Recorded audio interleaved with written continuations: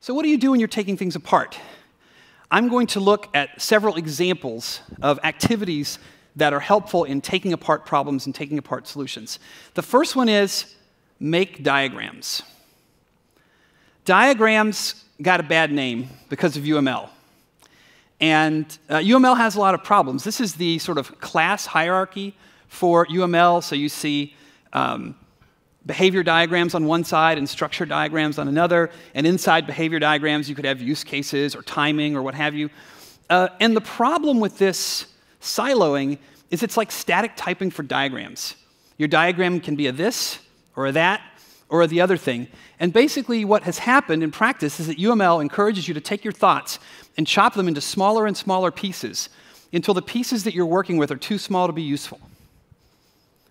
Good design is the opposite of this. When you're taking things apart, you need to have a visual canvas where you can see all the elements that are in play. So here's an example diagram uh, from the work that we did on Clojure 1.10. Uh, the feature is uh, called PREPL, although that doesn't really matter here. But the point I want to make about this diagram is it combines things that would be in a half dozen different UML diagrams. It shows multiple subsystems. It shows encapsulation boundaries and seams. It shows the flow of time and the flow of information. It shows function invocations. It shows data formats. It shows freeform notes. What this is, is a snapshot of somebody working on a problem that captures everything that they need to understand how to move forward on the problem.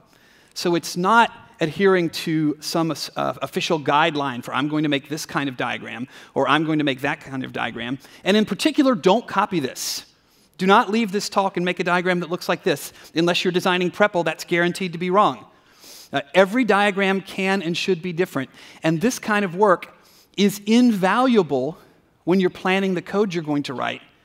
And it's invaluable again five years later when you have to pick up the code in maintenance. We don't code on the Datomic team without pictures like this in play.